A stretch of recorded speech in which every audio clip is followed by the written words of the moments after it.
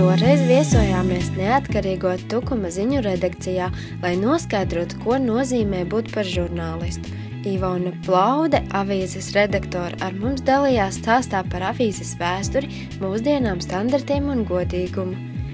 Jau 20 gadus Ivona ir žurnālisti. Avīzi viņa veidoja kā pašai likās svarīgi. Nebaidīja arī tas, ka drukātie mēdīji varētu ciest sagrāvi.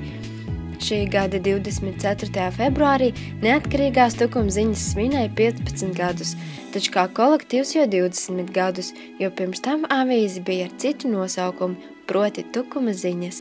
Šobrīd atvērtā tipa redakcijā, kas atrodas Brīvības laukumā 10, kopš 2002. gada ir ļoti omulīgi – Sākotnēji avīzes mājas visās skarbos apstākļos bija Tida Holmes ielā.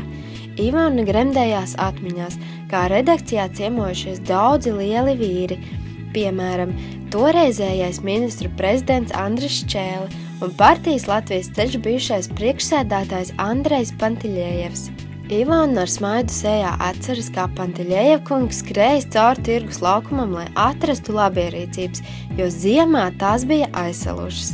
Vecajā redakcijā esot bijis arī pamatīgs caurums grīdā, un, lai to aizsaktu, tika uzklāts liels paklājs, kā arī, lai izveidotu patīkamāku atmosfēru, tika iegādāts lietoto mēbeļu divānu komplekts, kas arī atrodas tagadējā redakcijā. Interesanti, ka ir veikts pētījums par to, kā fizioloģiski ietekmēt lasītāju. No sākuma lasītājs skatās uz šo augšējo stūri labajā pusē, Tā ir visdārgākā vieta reklāmai un informācijai. Pēc tam mūsu acis pievēršas centrālo attēlu.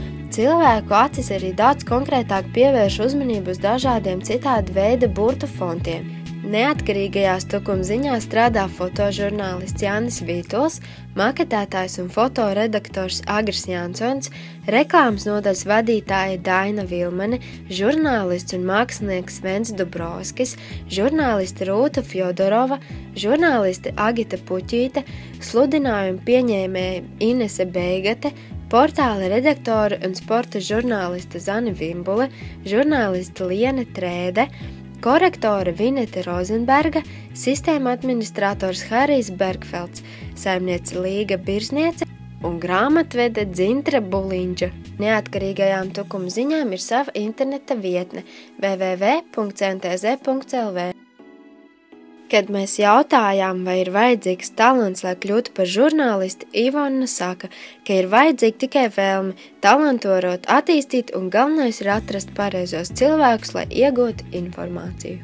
Lai mums visiem spēks cīnīties par saviem sapņiem un gūt daudzus, jo daudzus panākumus. Tiekamies jau atkal nākamajā raidījumā!